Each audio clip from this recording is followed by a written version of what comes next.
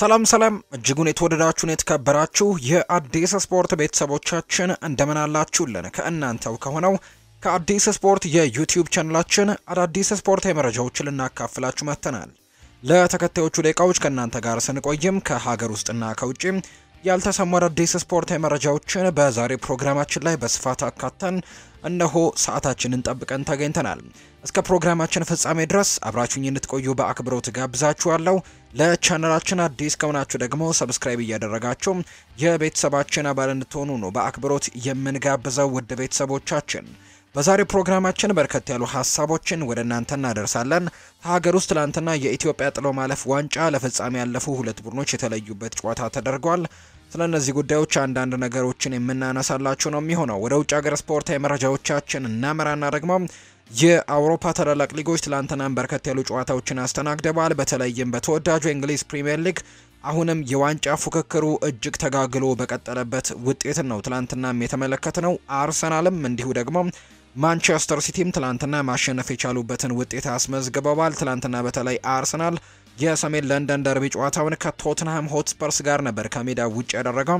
ትልቅ ፉክክር የታየበትን ጨዋታ ተመልክተናል። ስለነዚህ አንዳንድ ጨዋታ ስለዚህ ጨዋታዎች እንግዲህ አንዳንድ ጉዳዮችን እናነሳላችኋለን። ሌሎች የአውሮፓ ታላላቅ ሊጎችንም የምንዳስስበት ስፖርት የመረጃችን ሰዓታችንን ጠብቀን እንግዲህ ወደ እናንተ እናደርሳለን። የክለብ መረጃዎቻችን ሳይረሱ ማለት ነው። በርከት ያሉ ስፖርታዊ መረጃዎችን አካተናል። እስከ ፕሮግራማችን ፍጻሜ ድረስ አብራችሁኝ እንድትቆዩ በአክብሮት ጋብዛለሁ። ለቻናላችን አዲስ ከሆናችሁ subscribe ማድረጋችሁን አትርሱ። በቀጥታ ወደ ዛሬው ፕሮግራማችን ነው የምናልፈው። ከሀገር ውስጥ ጉዳያችን ነው የዛሬን ፕሮግራማችንን የምንጀምርላቸው። የኢትዮጵያ የጥሎ ማለፍ ዋንጫ ተፋላሚ ቡድኖች የተለዩበት ውጤት ታውቋል። ኢትዮጵያ ቡና ትላንትና ከሐዋሳ ከተማ ጋር ያደረጉትን የኢትዮጵያ ዋንጫ የግማሽ ፍጻሜ ጨዋታ ሁለት ለዜሮ በሆነ ውጤት በማሸነፍ ለፍጻሜ ማለፋቸውን ያረጋገጡ ቡድን ሆነዋል። ቡናማዎቹ ለፍጻሜ ያደረሱ የማሸነፊያ ግቦችን ደግሞ አንተነህ ተፈራና ዋሳዋ ጂኦፍሪ ናቸው በፍጹም ቅጣት ምት ማስቆጠር የቻለው። በሌላኛው የግማሽ ፍጻሜ ፍልሚያ ደግሞ ወላይታ ዲቻ በትላንትናው ዕለት ከኢትዮጵያ መድን ጋር ያደረጉትን ጨዋታ አንድ ለዜሮ በሆነ ውጤት በማሸነፍ ነው ለፍጻሜ መድረስ የቻሉት። በፍጻሜው ኢትዮጵያ ቡና ከወላይታ ዲቻ ጋር የሚገናኙ ሲሆን የፍጻሜው ጨዋታ ሰኔ ወር ውስጥ እንደሚደረግ ነው ይፋ የተደረገው። ወደ ውጭ ሀገር ስፖርታዊ መረጃዎቻችን በቀጥታ እንውሰዳችሁ ቤተሰቦቻችንም። ትላንትና እንግዲህ በአውሮፓ ታላላቅ ሊጎች በርከት ያሉ ጨዋታዎች መደረግ ችለዋል። ከነዚህ መካከል በተወዳጁ የእንግሊዝ ፕሪምየር ሊግ የተደረጉ ጨዋታዎችን በማስቀደም እንጀምር። ቅድሚያም እንግዲህ ግምት ያልተሰጣቸውን ወይም ደግሞ አነስተኛ ግምት የተሰጣቸውን ጨዋታዎች በማስቀደም ስንጀምር ትላንትና ቦርንመስ ከብራይተን ኤንድ ሆቭ አልቢየን ጋር ጨዋታውን አድርጎ ነበር። ቦርንመስ እንግዲህ ይህንን ጨዋታ 3 ለ0 በሆነ ውጤት ነው ማሸነፍ የቻለው። ማርኮስ ሴንሲ፣ ኤኒስ ኡናል እና ጀስቲን ክላይቨርት ናቸው ሶስቱን ግቦች ለቦርንመዝ ማስቆጠር የቻሉት። በዚህም እንግዲህ ትናንትና ማሸነፍ ችሏል ቦርንመዞች። ሌሎቹ ሁለት ጨዋታዎች እንግዲህ በጉጉት ሲጠበቁ የነበሩ ጨዋታዎች ናቸው። በሊጉ ፉክክር ላይም ትልቅ ግምት ተሰጥቷቸው የነበሩ መድፈኞቹ ትናንትና ወሳኝ ድል አሳክተዋል። በእንግሊዝ ፕሪምየር ሊግ የ35ኛ ሳምንት መርሃ ግብር አርሰናል ከቶትንሃም ሆትስፐርስ ጋር ያደረጉትን ጨዋታ ነው ሶስት ለሁለት በሆነ ውጤት ማሸነፍ የቻሉት። የመድፈኞቹን የማሸነፊያ ግቦች ቡካዮ ሳካ፣ ካይ ሃቨርትስ እና ፒዬር ኤሚል ሆይቤ ናቸው በራሱ ግብ ላይ ማስቆጠር የቻሉት። ለቶትንሃም ደግሞ ክሪስቲያን ሮሚሮ እና ሰን ሂዩንግሚን ናቸው ከመረብ ጋር ማሳረፍ የቻሉት በተለይም አርሰናሎች ትላንትና የመጀመሪያውን 45 የጨዋታ ክፍለ ጊዜ 3 ለ0 መርተው ወደ እረፍት ሰዓት ማምራታቸው እንግዲህ ይህንም ጨዋታ በደንብ ተቆጣጥረው ሌሎች ጎሎችንም ሁለተኛው አጋማሽ ላይ አስቆጥረው በሰፊ የግብ ልዩነት አሸንፈው ይወጣሉ ተብሎ ተጠብቆ ነበር። ነገር ግን ሁለተኛው አጋማሽ ላይ ቶትንሃሞች ተጠናክረው መጥተው ሁለት ጎሎችን ማስቆጠር ችለው ነበር። እንዲሁ አርሰናል ላይም በርከት ያሉ ጫናዎችንም አድርገውበት ነበር። ነገር ግን አርሰናሎች እስከ መጨረሻው ጥፍጣፊ ተፋልመው ነው ጨዋታውን 3 ለ2 አሸንፈው መውጣት የቻሉት። አርሰናል በዘንድሮው የውድድር ዓመትም በሊጉ ከየትኛውም ክለብ በበለጠ 23 ግቦችን ከቆሙ ኳሶች ላይ ማስቆጠር የቻለ ቡድን የሆነበትን ሪከርድ ነው ትናንትና ማስመዝገብ የቻለው። ቡካዮ ሳካ በዘንድሮው የውድድር ዓመትም በሁሉም ውድድሮች ለአርሰናል ባደረጋቸው ጨዋታዎችም በ33 ግቦች ላይ ቀጥተኛ ተሳትፎን ማድረግ ችሏል። የቶትንሃሙ የፊት መስመር ተጫዋች የሆነው ሰን ሂዩንግሚን በውድድር ዓመቱ ያስቆጠራቸውን የሊግ ግቦች ደግሞ 16 ማድረስ የቻለበትን የፍጹም ቅጣት ምት ነው ትላንትና ማስቆጠር የቻለው። አርሰናል አሁን ላይ 80 ነጥቦችን ሰብስቧል። ለዋንጫ ፉክክሩም ከማንቸስተር ሲቲ ጋር አንገት ለአንገት ተናንቆ ይገኛል። ቶትንሃም ሆትስፐርስ በአንጻሩም ለቻምፒየንስ ሊግ ነው እየተፎካከረ የሚገኘው። ቻምፒየንስ ሊግ ለመግባት 60 ነጥቦችን ይዞ አምስተኛ ደረጃ ላይ ነው የተቀመጠው። በቀጣይ ቸልሲ ከቶትንሃም ጋር ጨዋታቸውን ያደርጋሉ ሐሙስ ዕለት፣ እንዲሁ ደግሞ አርሰናል ከቦርንመዝ ጋር ቅዳሜ ጨዋታቸውን ያደርጋሉ። በዘንድሮ የውድድር ዓመት በሊጉ ጥሩ የሚባል ጊዜን በማሳለፍ ላይ የሚገኘው የሰሜን ለንደኑ ክለብ አርሰናል አሁን ላይ እንግዲህ ሊጉን በአሰልጣኝ ሚኬል አርቴታ የሚመራው አርሰናል በዚህ ዓመት በሊጉም በ80 ግቦች እንግዲህ 85 ግቦችን በማስቆጠር ብዙ ግብ ያስቆጠረ ክለብ ነው። በውድድር ዓመቱ በሊጉ 28 ግቦች የተቆጠሩበት ሲሆን ይህም ከየትኛውም የሊጉ ክለብ ያነሰ ነው። በ16 ጨዋታዎች ላይም ደግሞ ግብ ሳይቆጠርበት የወጣ ቀዳሚው ክለብ አድርጎታል። ዘንድሮ ለስህተት ቦታ የለንም ብሏል ቡካዮ ሳካ። ለአርሰናል ሁለተኛ ግብ ማስቆጠር የቻለው እንግሊዛዊው ተጫዋች ቡካዮ ሳካ ቡድናቸው ድሉ ያለ ጥርጥር እንደሚገባው ከጨዋታው በኋላ በነበረው ሀሳብ ላይ ነው የተናገረው። በዚህ ዓመት ለስህተት ምንም አይነት ቦታ የለንም የሚለው ቡካዮ ሳካ ባለፈው ዓመት በዓመቱ መጨረሻ ነገሮች ተሰናክለውብን ነበር፣ ነገር ግን በዚህ ዓመት ተዘጋጅተናል ነው ያለው። ቡካዮ ሳካ አያይዞም እንግዲህ በቶትንሃም ላይ በተቀናጀው ድልም በደንብ እንደሚገባቸው ነው የገለጸው። ሌላኛው ትላንትና ከተደረጉ ጨዋታዎችና እጅግ በጉጉት ሲጠበቁ ከነበሩ መርሃ ግብሮች መካከል አንደኛው ነው። ማንቸስተር ሲቲ ከሜዳው ውጭ ከኖቲንግሃም ፎረስት ጋር በሲቲ ግራውንድ ያደረጉት መርሃ ግብር። ይህ ጨዋታም በዋንጫ ፉክክሩ ላይ እንግዲህ ሌላኛው እንግዲህ የዋንጫ ፉክክሩን ያጦዘበት ውጤት የተመዘገበበት ነው። ትላንትና ማንቸስተር ሲቲዎች ወሳኝ ድል አሳክተው ነው መውጣት የቻሉት በእንግሊዝ ፕሪምየር ሊግ የሰላሳ አምስተኛ ሳምንት መርሃ ግብር ማንቸስተር ሲቲ ከኖቲንግሃም ፎረስት ጋር ያደረጉትን ጨዋታ ሁለት ለዜሮ በሆነ ውጤት ማሸነፍ ችለዋል። የማንቸስተር ሲቲን የማሸነፊያ ግቦች ኤርሊንግ ብሮት ሃላንድ እንዲሁ ደግሞ ሄስኮ ግቫርዲዮል ናቸው ከመረብ ጋር ማሳረፍ የቻሉት። በተለይም ኤርሊንግ ብሮት ሃላንድ ትላንትና እንግዲህ ከጉዳት መልስ ነው ተቀይሮ ገብቶ ጎሉን ማስቆጠር የቻለው። ኖርዌያዊው የፊት መስመር ተጫዋች ኤርሊንግ ሃላንድ በውድድር ዓመቱም ያስቆጠራቸውን የሊግ ግቦችም 21 በማድረስ አሁን ላይ መሪነቱን ለብቻው እየመራ ይገኛል። ኮል ፓልመር 20 ግቦችን ማስቆጠሩን እናስታውሳለን። ኬቨን ደብሮይን በ2024 ባደረጋቸው 19 ጨዋታዎች 20 የግብ አስተዋጽኦችን ማድረግ የቻለም ተጫዋች ነው። ትላንትናም ለሁለቱም ጎሎች መገኘት እሱ አስተዋጽኦ ነበረው። ለሄስኮ ግቫርዲዮል ከቆመ ኳስ ከማዕዘን ምት የተሻማ ኳስ ነበር ጎል የተቆጠረው። እንዲሁ ደግሞ ለኬቨን ዴብሮይና እንዲሁ ደግሞ ለኤርሊንግ ሃላንድም አመቻችቶ ያቀበለው ተጫዋች እሱ ነበር እና ማንቸስተር ሲቲ አሁን ላይ 79 ነጥቦችን ሰብስበው አንድ ቀሪ ጨዋታ እየቀራቸው በሊጉ ሁለተኛ ደረጃ ላይ ተቀምጠዋል። ኖቲንግሃም ፎረስት የመውረድ ሌላኛው ስጋት ያለበት ቡድን ነው። 17ተኛ ደረጃ ላይ ነው የተቀመጡት፣ 26 ነጥብ አላቸው።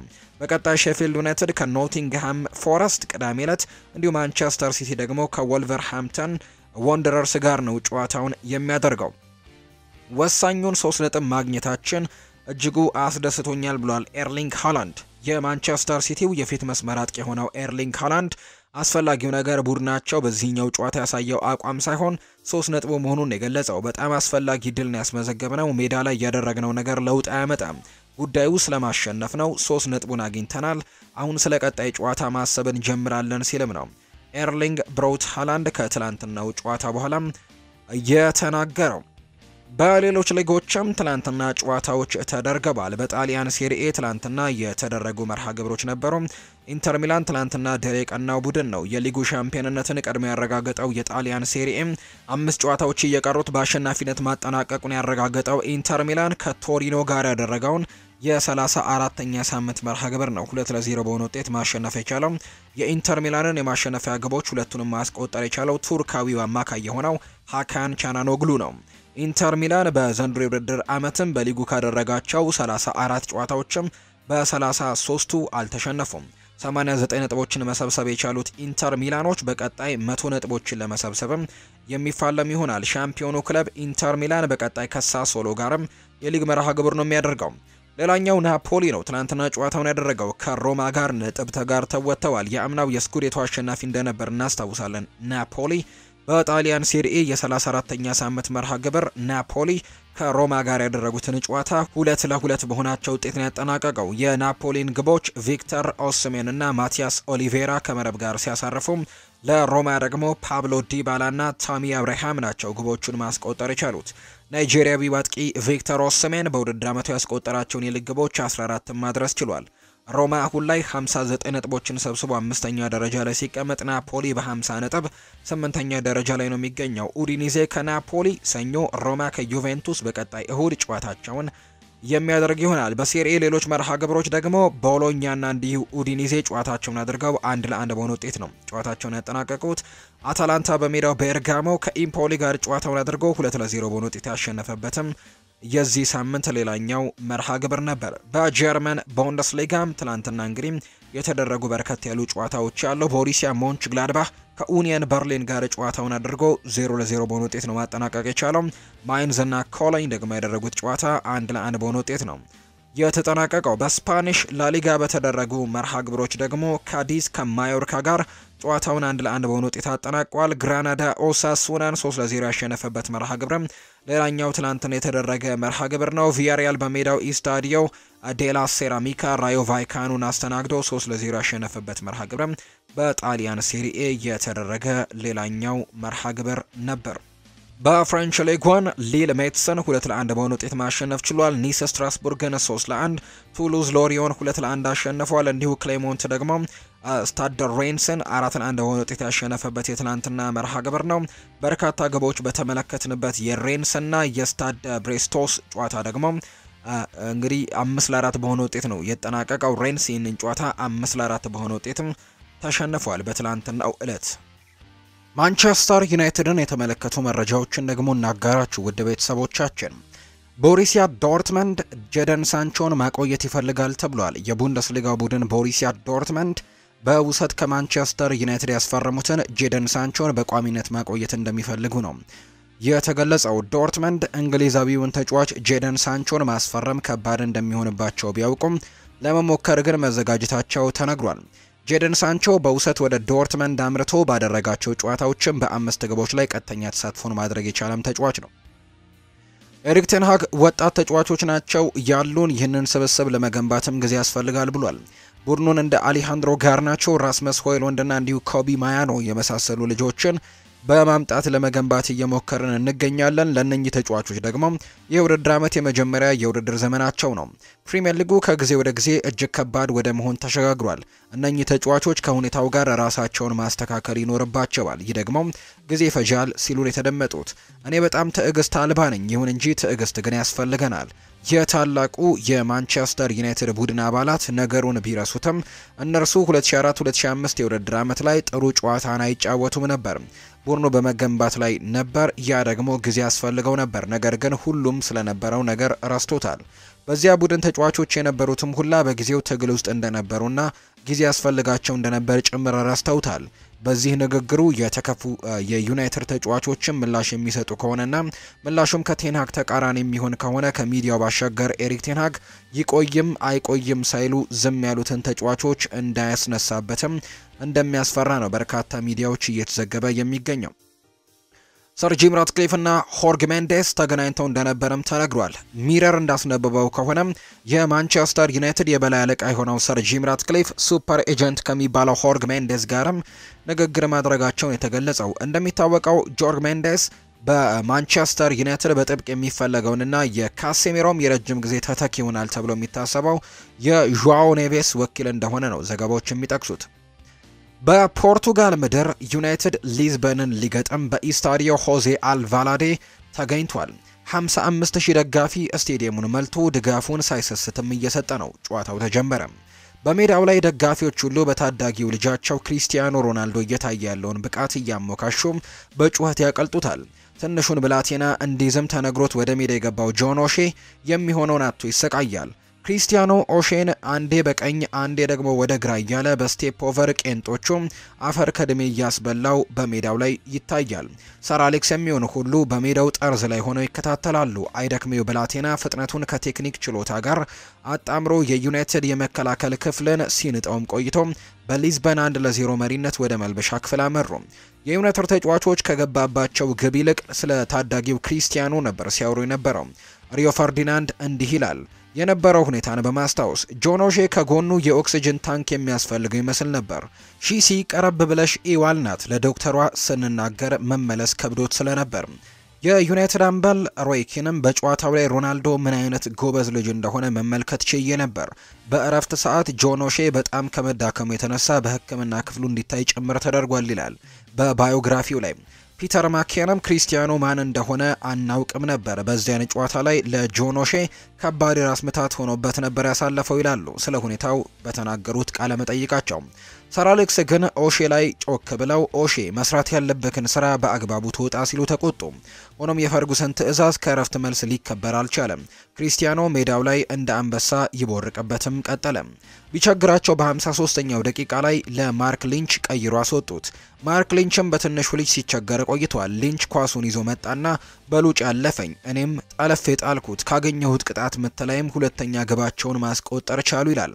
ሮናልዶ ተአምሩ በሜዳ ላይ አላበቃም። በጨዋታ መገባደጃ ላይ ፊል ኔቭል እንደ ሕፃን ልጅም ሱቅ ዕቃ እንዲገዛ ልኮት ተጠናቀቀ። ተጫዋቾቹና ሰር አሌክስ ፈርጉሰንም ሮናልዲኒሆን ማስፈረም ሳንችል አምልጦናል፣ ይህንን ብላቴና ግን ሊያመልጠን አይገባም አሉ። ክሪስቲያኖም በዛች ሰዓት ዕለትና ራሱን ለዩናይትድና ለዓለምም አስተዋወቀ። በአስረኛው ቀንም የዩናይትድ ፈራሚ መሆኑ የሚታወስ ነው። ቀሪው ግን ታሪክ ነው። ይህንን ታሪክ ልናነሳላችሁ ወደን ነው። በትላንትናው ዕለት ከ15 ዓመታት በፊት ክሪስቲያኖ ሮናልዶ ማንቸስተር ዩናይትድን ለቆ ወደ ሪያል ማድሪድ ያመራበት ዕለት ነበር።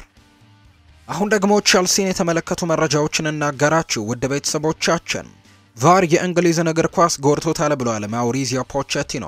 የሰማያዊዎቹ ዋና አሰልጣኝ የሆነው ማውሪዚዮ ፖቼቲኖ ቫር የእንግሊዝን እግር ኳስ እያበላሸው ነው የሚል እምነት እንዳላቸው ነው ከአስተን ቪላ ጨዋታ በኋላ በሰጡት አስተያየት የገለጹት። በጨዋታው በመጨረሻ ደቂቃ ያስቆጠሩት የማሸነፊያ ግብ ትክክለኛ እንደነበር የጠቆሙት አሰልጣኝ የቫር ውሳኔ የማይታመንና አስቂኝ ነው ሲሉ ገልጸውታል። ለእኔ ቫር የእንግሊዝ እግር ኳስን አበላሽቷል የሚሉት አሰልጣኝ ማውሪዚዮ ፖቼቲኖ የእግር ኳሱን ገጽታ አበላሽቶታል በማለትም ነው ትችታቸውን የሰነዘሩት። በአንጻሩ ኖኖ ማንድዌኬ ቼልሲ ጨዋታውን ማሸነፍ እንደሚገባውና ሶስት ነጥቡም ለነሱ እንደሚገባ ነው የገለጸው። ሶስት ነጥብ ይገባችሁ ነበር ወይ ካልከኝ፣ አዎ በትክክል ይገባናል። ጎሉም መጽደቅና እኛ አሸናፊዎች መሆን ነበረብን፣ ነገር ግን አልተሳካም። ከዚህ በላይ መናገር አልችልም ሲልም ነው የተደመጠው ኖኖ ማንድዌኬ። አርሰናልን የተመለከቱ መረጃዎችን ደግሞ እናገራችሁ አሁን ላይ ውድ ቤተሰቦቻችን አርሰናል የፕሪሚየር ሊጉን ዋንጫ ያሸንፋል ብሏል። የቀድሞ የአርሰናል ተጫዋች የሆነው ኢማኑኤል ፔቲት የሊጉ አሸናፊ አርሰናል እንደሚሆን የገለጸው በእርግጠኝነት አርሰናል የሊጉን ዋንጫ እንደሚያሸንፍ አስባለሁ። ሲቲ የቀረውን ጨዋታ ቢያሸንፍ እንኳን ከአርሰናል ጋር የሁለት ነጥብ ልዩነት ይኖራቸዋል። እኔ ዘንድሮ በሲቲ እምነት የለኝም፣ ምክንያቱም ጠንካራውን ሲቲ እያየን አይደለም። በመከላከሉ ደካማ ናቸው። በአንጻሩ አርሰናል ጥሩ አቋም ላይ ነው ያለው። ይህም ቼልሲ ላይ አምስት ጎሎችን አስቆጥሮ አሳይቶናል። ከቶተንሃም ጋርም ይህንን አድርገውታል ብሏል። ስለዚህም አርሰናል የሊጉን ዋንጫ እንደሚያሸንፍም አስባለው ሲል ነው የተደመጠው። ሊቨርፑልን የተመለከቱ መረጃዎችን እናጋራችሁ። ሊቨርፑል በትንሽ ገንዘብ ትልቅ ቡድን ሰርቷል። የቀድሞ የሊቨርፑል ተጫዋች የሆነው ፒተር ክራውች ነው ይህንን የተናገረው። ክሎፕ በዘጠኝ ዓመታት አንድ የሊግ ዋንጫ ማሸነፋቸው ትልቅ ስኬት እንደሆነ ገልጿል። ክሎፕ በሊቨርፑል ቤት መጥፎ ጊዜን አላሳለፉም። በዚህም በፊት እንግዲህ ሊቨርፑል የት እንደነበረ ማስታወስ አለባችሁ። ክሎፕ በትንሽ ገንዘብ ትልቅ ቡድን ሰርተው ማንቸስተር ሲቲን መፎካከር ችለዋል። በእርግጠኝነት ማንቸስተር ሲቲን የሚያወጣውን ገንዘብ ክሎፕ ቢያወጣ ኖሮ የእንግሊዝ ሊግን ይቆጣጠር ነበር ብሏል። ሊቨርፑልና ፌኖርድ የአርኔ ስሎትን ስምምነት ለማጠናቀቅ ሁሉንም አስፈላጊ ሰነዶች አዘጋጅተዋል። ሊቨርፑል ለዚህ ውልም 9 ሚሊዮን ዩሮና ተጨማሪ ማለትም እየታየ የሚጨመር ደግሞ 2 ሚሊዮን ዩሮ ይከፍላል ተብሎ ነው የሚጠበቀው። አጠቃላይ ክፍያውም የ staff ሰራተኞቹን ጭምር ስለሆነ ከ13 ሚሊዮን ዩሮ በላይ ሊሆን እንደሚችልም ነው እየተገለጸ የሚገኘው። ሌላኛው ከዚህ ጉዳይ ጋር የምናነሳው ጉዳይ የፌኖርድ ምክትል አሰልጣኝ የሆነው ሲፕኬ ሁልሾፍ እና ደግሞ ሩበን ፒተርስ የፌኖርድ ተጫዋች አፈጻጸምና ዋና አሰልጣኝ ከአርኔ ስሎት የ staff አባላት ጋር ወደ ሊቨርፑል የሚመጡ እንደሆኑ ነው ፋብሪዚዮ ሮማኖ ጨምሮ የተናገረው። ጁሊያን ጄነር ይናገራል። ከአሰልጣኝ አርኔ ስሎት ጋር አብሮ የሰራ የነበረ ሰው ነው። ሶቦዝላይ አሁን ባለው የበለጠ የተሻለ ተጫዋች እንደሚሆን አስባለሁ። በአርኔ ስሎት ውስጥም በተቃራኒ ቡድን ሜዳ ክልል ውስጥም ትልቅ ነገርን ማድረግ የሚወድ ብልህ ተጫዋች ነው። አሁን ደግሞ በተጋጣሚ ሜዳ ውስጥ መጫወት የሚወድና በጣም ትልቅ ፈጠራ ያለው አሰልጣኝ ይኖረዋል። ይህ ማለትም እኔ እንደማስበው ከሆነ ዶሚኒክ ሶቦዝላይ በዚህ አሰልጣኝ ስርም ጥሩ ጊዜን የሚያሳልፈው ተጫዋች ነው ሲልም ነው የቀድሞ ከአርኔ ስሎት ጋር የሰራው ጁሊያን ጄነር የሚናገረው። የመጨረሻ ከሊቨርፑል የምናደርገው መረጃችን ደግሞ የርገን ክሎፕ ሳያውቁ ስህተት ሰርተው ይሆን ወይም ክሎፕ አስደናቂ ግስጋሴን ያሳየውን ቡድን በውድድር ዓመቱ መገባደጃ ድረስም ይዘው ከዘለቁ በኋላ ድንገት የቁልቁለት መንገድ ላይ ለመገኘት ብዙ ምክንያቶች ቢደረደሩም አንድ ጉዳይ ላይ አሰልጣኙ አውቀውም ይሁን ሳያውቁት የሰሩት ስህተት እንዳለ ብዙዎች እምነት አላቸው። ጀርመናዊው አሰልጣኝ የርገን ክሎፕ ባለፉት ስምንት ዓመታት የመርሲሳይዱን ክለብ ሊቨርፑል ወደ ከፍታ ከመለሱ በኋላ ባለፈው ጥር ድንገት አስደንጋጭ ውሳኔን ወስነዋል። ክሎፕ በውድድር ዓመቱ መጨረሻ ከአሰልጣኝነት ገሸሽ ብለው እረፍት ለማድረግ መወሰናቸውን ተከትሎ ለክብራቸው ሲባል ስንብታቸው በዋንጫዎች እንዲታጀብ የብዙዎች ምኞት ነበር። በእርግጥም አሰልጣኙ በውድድር ዓመቱ ከሊቨርፑል ጋር ለመፋታትም ሲወስኑ ቀዮቹ ከቻምፒየንስ ሊግ ውጪ የፕሪምየር ሊግ፣ ዩሮፓ ሊግ እና ኤፍኤ ካፕ ዋንጫዎችን የማንሳት ተስፋ ብቻ ሳይሆን አቅሙም የነበራቸው ይመስል ነበር። ይሁን እንጂ ስንብታቸው ይፋ ካደረጉ በኋላ እነዚህ ሁሉ ተስፋዎች ቀስ በቀስ እየተነኑ ሄደው ዛሬ ላይ ባዶ እጃቸውን የቀሩ ይመስላሉ። ክሎፕ በዋንጫ የታጀበ ደማቅ አሸኛኘት ይደረግላቸዋል ተብሎ ተስፋ የተደረገበትን ያክል መጨረሻቸው ግን እያማረ አይገኝም። ይባስ ብሎም ደግሞ ከቁልፍ ተጫዋቻቸው መሐመድ ሳላህ ጋር በግልጽ ሜዳ ላይም ዓለም እያያቸው የፈጠሩት ውዝግብ በአንፊልድ መልበሻ ክፍል ውስጥ ምን እየተፈጠረ ነው ብሎ ለመጠየቅም ያስገደደ ሆኗል። የመርሲሳይዱ ክለብ ወደ ለንደን ስቴዲየም አቅንቶ ከዴቪድ ሞይሱ ዌስትሃም ዩናይትድ ጋር ሁለት አቻ በተለያየበት ጨዋታ አሰልጣኝ የርገን ክሎፕ ከኮከባቸው ግብፃዊ አጥቂ መሐመድ ሳላህ ጋር አለመግባባት ውስጥ ገብተው ነበር። ግብፃዊው አጥቂ ከጨዋታው በኋላም ከጋዜጠኞች ለቃለ ምልልስ ጥያቄ ሲቀርብለትም ፈቃደኛ ሳይሆን ቀርቶ ሜዳውን ለቆ መውጣቱ ይታወሳል። ሳላ ሜዳውን ለቆ ሲወጣም አሁን አስተያየት ከሰጠውኝ ነገሩ ይከራል የሚል ምላሽ መስጠቱ ደግሞ ጉዳዩን ይበልጥ አነጋጋሪ አድርጎታል። ጀርመናዊው የቀዮቹ አለቃ በበኩላቸው ከጨዋታ በኋላ ከጋዜጠኞች ጋር በነበራቸው ቆይታ ወቅትም ስለ ክስተቱ ተጠይቀው መልበሻ ክፍል ውስጥ ተነጋግረናል፣ ምንም ችግር የለም ሲሉ ነው ምላሽ የሰጡት። ያም ሆኖ ግን መግለጫውን ሲሰጡ ወትሮ ፊታቸው ላይ የማይጠፋው ፈገግቷቸው አብሯቸው አልነበረም። ሊቨርፑል ከጥቂት ሳምንታት በፊት ፕሪምየር ሊጉን በድንቅ ብቃትም እየመራ ዋንጫውን የማንሳት ትልቅ ተስፋና አቅም ነበረው። ይሁን እንጂ በክሪስታል ፓላስ በሜዳው የተሸነፈበት ጨዋታ ድንገት መንሸራተት የጀመረበት ምክንያት ለብዙዎች እንቆቅልሽ ነው።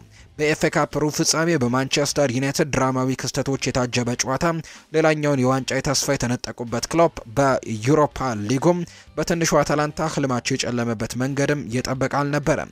ክሎፕ አስደናቂ ግስጋሴ ያሳየውን ቡድን የውድድር ዓመቱ መገባደጃ ድረስ ይዘው ከዘለቁ በኋላ ድንገት የቁልቁለት መንገድ ላይ ለመገኘታቸው ብዙ ምክንያቶች ቢደረደሩ አንድ ጉዳይ ላይ ግን አሰልጣኙ አውቀውም ሲሆን ሳያውቁም የሰሩት ስህተት እንዳለ ብዙዎች እምነት አላቸው።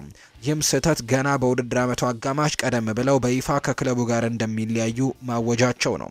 ክሎፕ ገና በጥር ወር በውድድር ዓመቱ መጨረሻ ሊቨርፑልን እንደሚለቁ በይፋ ማሳወቃቸው በቡድናቸው አስደናቂ ጉዞ ላይ በሁለት መንገድ አሉታዊ ተጽዕኖ እያሳደረ እንደሆነ ይታመናል።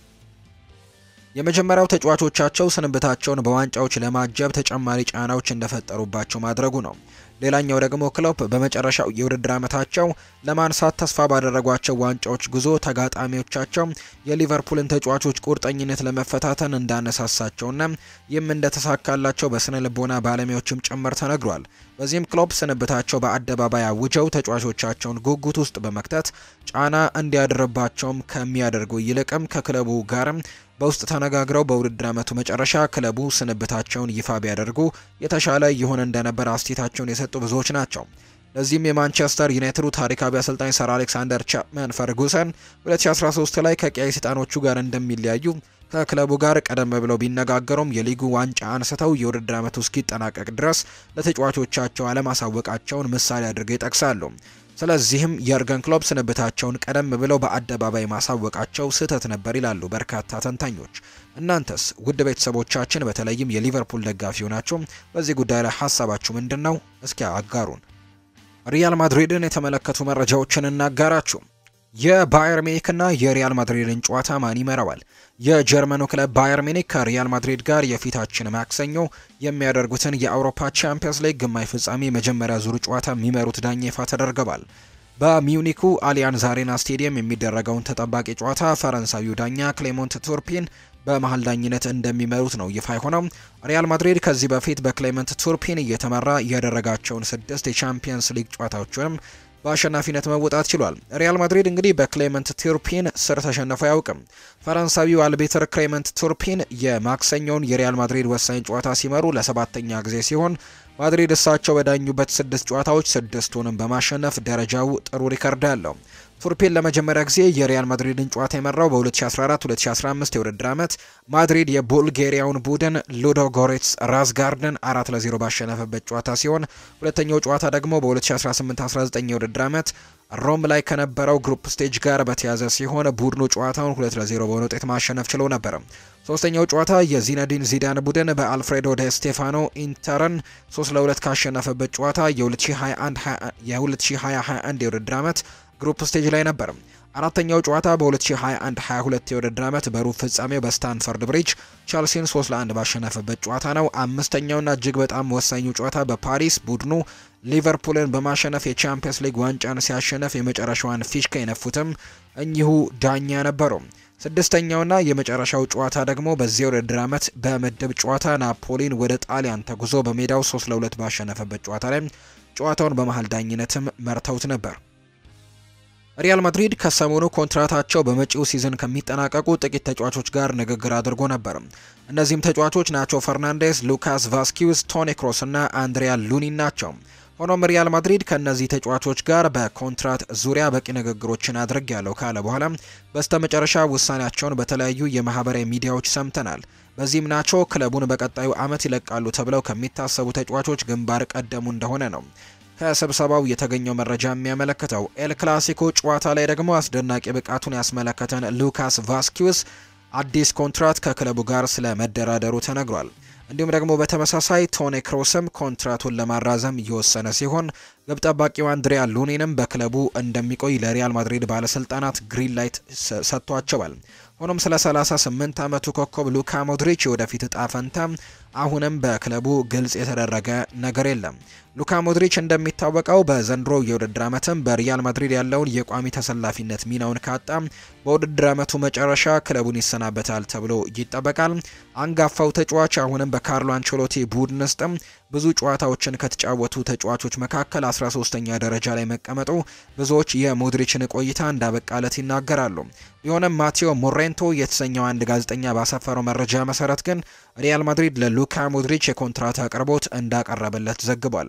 ጋዜጠኛውም ማከሎ ሁለቱ ወገኖች ስለ መጪው የውድድር ዓመት በግልጽ አለመናገራቸው የሞድሪች ውሳኔ እስካሁን ድብቅ እንዲሆንም ካደረጉት ምክንያቶች አንዱ እንደሆነ የተነገረው።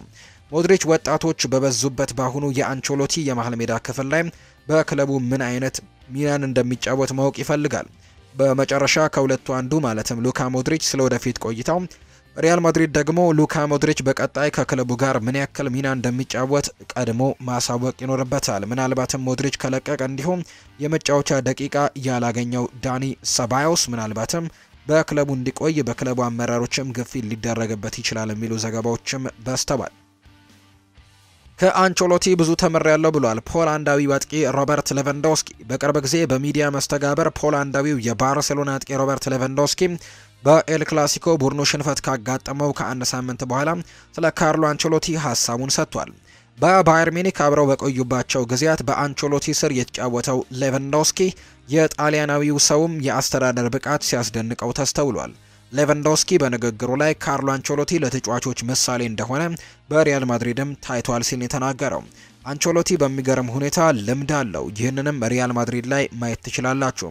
ተጫዋቾቹን በጥሩ ሁኔታ ይከታተላል። ካርሎ ሁል ጊዜም ከተጫዋቾቹ ጋር ብዙ የሚነጋገር ታላቅ ሰው ነው። ይህም ለእኔ ልዩ ስሜት ሰጥቶኛል። በራስ መተማመን ብቻ ሳይሆን የሙያዊ ውስጥም አንድ ወይም ደግሞ ሁለት ተጨማሪ እርምጃዎችን መውሰድ እንደምችልም የሚሰማኝን ስሜት ከአንቾሎቲ አግኝቼዋለሁ። ሌቫንዶስኪ በ2016-17 የውድድር ዓመት በአንቾሎቲ ስር የተጫወተ ሲሆን በአጠቃላይ ለጣሊያኑ ታክቲሽያን ስርም በ57 ጨዋታዎች ተሰልፎ የተጫወተ ነው። 54 ጎሎችን አስቆጥሮ 15 ደግሞ ለጎል የሆኑ ኳሶችንም አመቻችቶ ማቀበል ችሏል። ባየር ሙኒክ በአንቾሎቲ ስር ለቻምፒየንስ ሊግና ለቡንደስሊጋ ክብር ሲታገል ግን ውጤቱ አመርቂ አልነበረም። በ2017-18 የውድድር ዓመት ካርሊቶ ከሙኒክ አዝጋሚ ጅምር በማሳየቱ በስተመጨረሻም ከክለቡ ሊሰናበት ተገዷል። ሮበርትም አንቾሎቲ በባየር ሙኒክ ስለነበረው ያልተሳካ ጊዜም ሲናገር እንዲህ ይላል። በጊዜው ጀርመን ለአንቾሎቲ አዲስ ነገርና አዲስ ባህል ነበር። አሁን ግን ካርሎ እንደገና ወደ ጀርመን ቢያቀና ምን ማድረግ እንዳለበት በትክክል ያውቃል። እንደ ጀርመን ባሉ ሊጎች እንደ ባዕድ ነገር የሚቆጠሩ ሀገራት ውስጥ ማሰልጠን ወይም ደግሞ መጫወት ቀላል አይደለም። ካርሎ ትንሽ ቢቆይና ከእሱ ጋር አስቸጋሪውን ደረጃ ብናልፍ ኖሮ አስደናቂ ውጤት ማምጣት እንችል ነበር። አንቾሎቲ ከአስቸጋሪ ጊዜ በባየር ሚኒክ ሆኖ ቢወጣ ኖሮ ከዚያ በኋላ ነገሮች በሁሉ ነገር ቀላል ይሆኑለት ነበር ሲልም ነው የተደመጠው ሮበርት ሌቫንዶስኪ። የግሬሚዮ አሰልጣኝ ተጫዋቾቹን ከሜዳ አስወጥቷል። የብራዚሉ ክለብ ግሬሚዮ ዋና አሰልጣኝ የሆኑት ሬናቶ ጋውቾ ከትላንትና በስቲያ ምሽት እንግዲህ ቡድናቸው በባህያ በተሸነፈበት ጨዋታ በዳኛ ውሳኔ ተበሳጭተው አነጋጋሪ ተግባርን ሲፈጽሙ ተስተውለዋል። በጨዋታው ለግሬሚዮ በመጫወት ላይ የሚገኘው የቀድሞ የቼልሲ የፊት መስመር ተጫዋች የሆነው ዲኤጎ ኮስታ ተጠባባቂ ወንበር ላይ ያለ በዳኛው ቀይ ካርድ ተመዞበታል። በዳኛው ውሳኔ የተበሳጩት አሰልጣኝ ሬናቶ ጉቾ ለመቃወምም ራሳቸውን ጨምሮ ሁሉንም በተጠባባቂ ወንበር ላይ የነበሩ ተጫዋቾቻቸውና አሰልጣኝ ቡድን አባላትም ይዘው ሜዳውን ለቀው ወጥተዋል። አሰልጣኙ ከጨዋታው በኋላ በሰጡት አስቴትም ሁሉንም ተጠባባቂ ተጫዋቾች ይዘው ከሜዳ የወጡትም ሁሉም ቀይ ካርድ ተመልክተው በቀጣይ የሚያሰልፉት ተጫዋች እንዳያጡ በመሆኑ ነው የገለጹት። የሚላን ደጋፊዎች ጁሊያን ሎፕቴጊን እንደማይፈልጉ ገለጹ። የጣሊያን ሴሪኤው ክለብ ኤሲ ሚላን በሚቀጥለው የውድድር ዓመት አሰልጣኝ ጁሊያን ሎፕቴጊን በኃላፊነት ሊሾም ነው መባሉን ተከትሎ ነው የክለቡ ደጋፊዎች መቃወማቸው የተገለጸው። ደጋፊዎቹ ስፔናዊው አሰልጣኝ ጁሊያን ሎፕቴጊው በሚቀጥለው የውድድር ዓመት ክለባችንን እንዲረከብ አንፈልግም በማለት ነው ድምፅ በማሰባሰብ ላይ መሆናቸው የተነገረው። ኤሲ ሚላን በሚቀጥለው ዓመት ከአሰልጣኝ ስቴፋኖ ፒዮሊ ጋር በመለየት አሰልጣኝ ጁሊያን ሎፕቴጊውን ሊሾም ስለመቃረባቸው ግን እየተነገረ ነው የሚገኘው። ኒኮ ዊሊያምስ የዘረኝነት ጥቃት ደርሶበታል። አትሌቲኮ ማድሪድ እንግዲህ አትሌቲክ ቢልባኦን 3 ለአንድ ባሸነፉበት ጨዋታ ኒኮ ዊሊያምስ የዘረኝነት ጥቃት ደርሶበታል። በዚህ ጨዋታ ላይ የዘረኝነት ጥቃት የደረሰበት ኒኮ ዊሊያምስ ጎል ማስቆጠር ችሏል። ጎሉን ካስቆጠረ በኋላ የቆዳ ቀለሙን በማሳየትም ለስድቦቹ ምላሽ ሰጥቷል። ኒኮ ዊሊያምስ ስለዚህ ክስተትም እንዲህ ነበር ያለው። የዝንጀሮ ድምፅ ሰምቼ ነበር፣ ትንሽ ነበር፣ ግን የሰማሁት ሰዎቹ ጥሩ አይደሉም። ይሄ ሁኔታ ቀስ በቀስም እንደሚለወጥ ተስፋ አደርጋለሁ። ያንን ጎል ያገባውበትም በንዴት ነው። የአትሌቲኮ ማድሪድ ካፕቴን ኮኬ ከተጨማሪ በዚህ ጨዋታ ላይ ለኒኮ ዊሊያምስ ድጋፉን ገልጾ እንዲህ አይነት ባህሪ ያላቸው ደጋፊዎችን አውግዟል።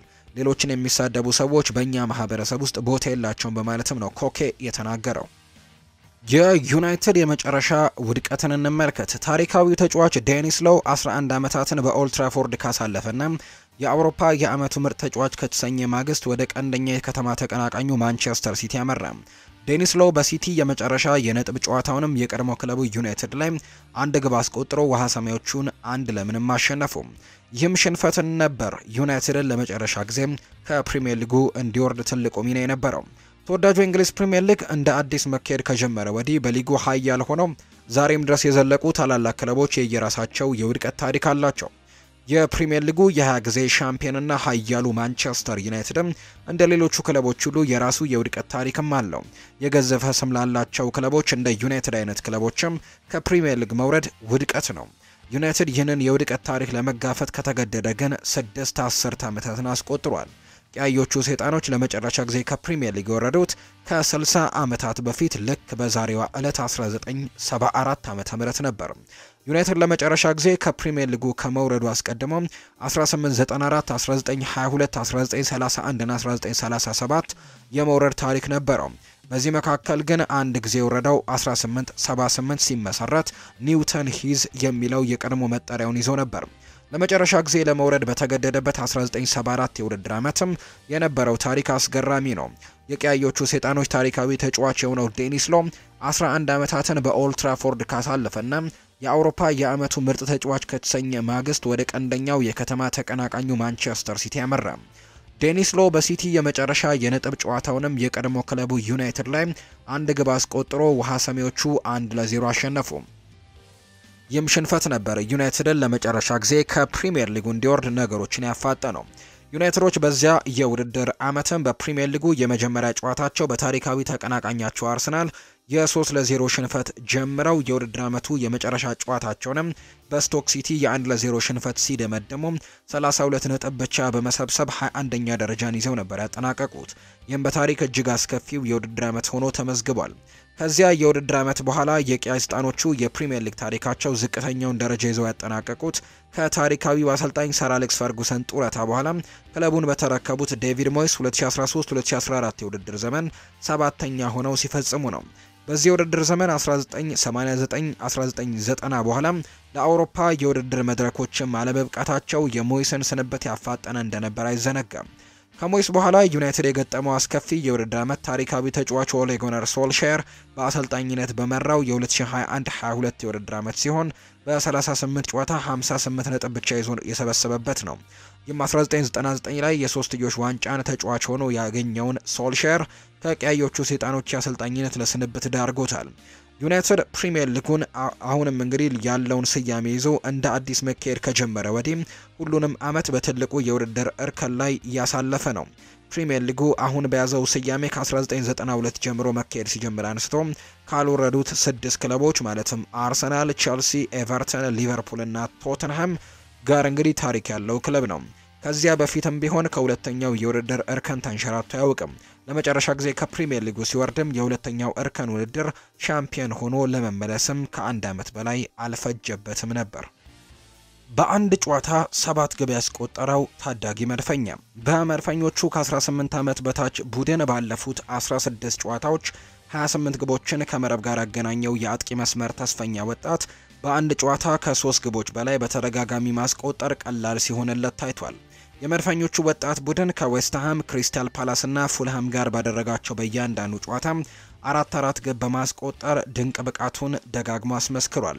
የአርሰናል ከ18 ዓመት በታች ቡድን ኖርዊች ሲቲን 9 ለ0 በረመረመበት ጨዋታም ሰባት ግቦችን ከመረብ ጋር ያሳረፈው ታዳጊ መድፈኛ የሚዲያዎችን ትኩረት ስቧል። ይህም መድፈኞቹ አካዳሚ ውጤት የቀጣዩ ዘመን የአርሰናል ተስፋ ሆኖ በርካቶችን እያነጋገረ ነው። የ16 ዓመቱ ተስፈኛ ወጣት ቺዶ አቢ ማርቲን ይባላል።